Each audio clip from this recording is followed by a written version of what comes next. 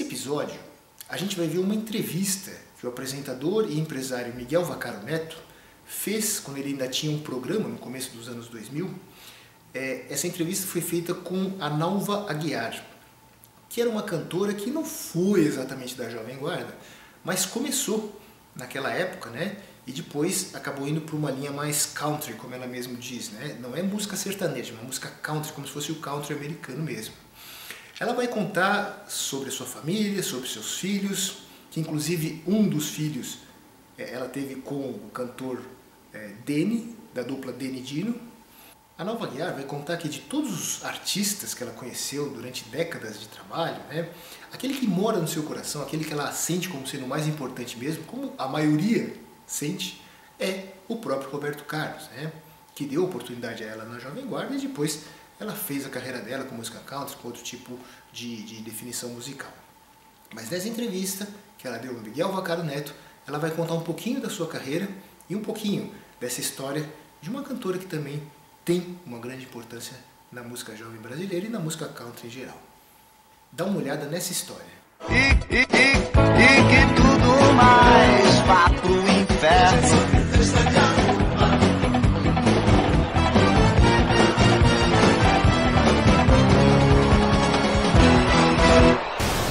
Dentre as pessoas convidadas, eu trouxe, por sugestão de vocês, Nalva Aguiar.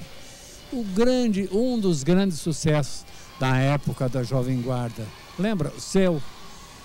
Meu, ai. Bom, ó, Miguel, eu gravei Vem Quente Que Eu Tô Fervendo, que eu fui a única Erasmo. cantora. É, nós, nós, nós gravamos em três, né? É, o Erasmo, o Eduardo Araújo, que a música é do Eduardo, do Eduardo Carlos Imperial, e eu.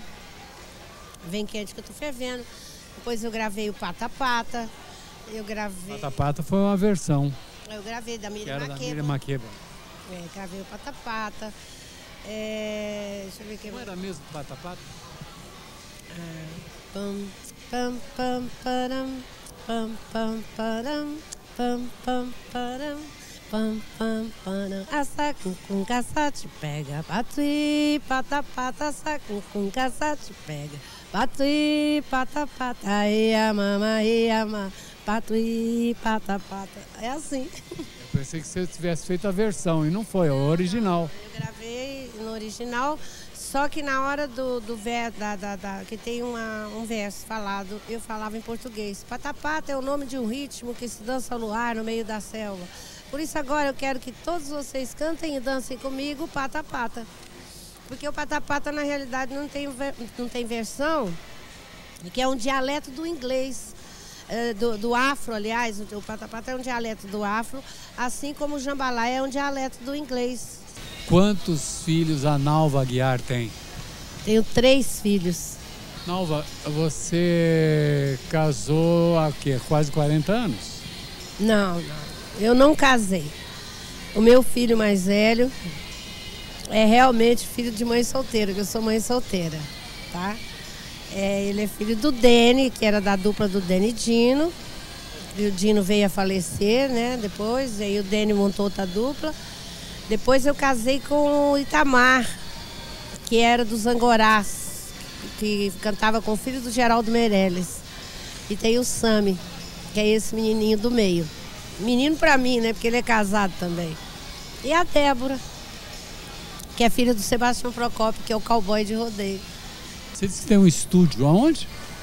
Eu tenho um estúdio e meu filho tem outro, em Uberlândia. Você é mineira? Eu sou de Tupaciguara, mas o meu estúdio é em Uberlândia.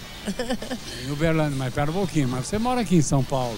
Eu estou morando atualmente em Guarulhos, mas a minha residência é em Uberlândia. Eu Quem sou cuida? do Sol para contrariar a criatura. É mesmo? Sou. E quem cuida do estúdio lá, já que você mora aqui? É meu irmão, Fausto, que era o guitarrista do Jet Blacks. Lembro, lembro, lembro. Lógico que lembro. Jet Blacks começou, foi um grupo que começou comigo. Então, era o Zé Paulo, o Jurandir, o Gato, né? É, tinha mais um. Depois entrou o alemão, o Ernestico. o Nestico, o alemão e o Fausto. Foram trocando assim, o gato. O gato, o gato. O gato de lembranças agradáveis e infelizmente deixou a gente alguns anos atrás, né? A Nalva, ela era na época, na época da Jovem Guarda, naquele movimento, a Nalva era muito conhecida, além da graça que sempre foi, ah, pelas botinhas, lembra não? É. Você continua com a mania das botinhas, não?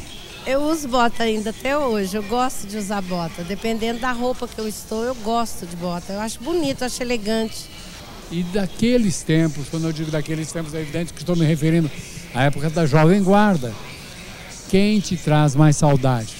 E, então eu sempre gostei muito de- de- desses cantores, Jair Adriane, Márcio Greik, Newton César. Meu cantor sempre foi Roberto Carlos. Engraçado, independente do Roberto, eu perguntei para você. Fora do Roberto. Que o Roberto é o concurso. Fora do Roberto, cantor ainda é o Willie Nelson. Willie Nelson. De grandes composições, de grandes interpretações. É porque é o estilo que eu gosto, né? Ele e o Ray Charles. Agora o Ray Charles já é mais soul, né? Eu gosto do Nelson, acho o Nelson fantástico.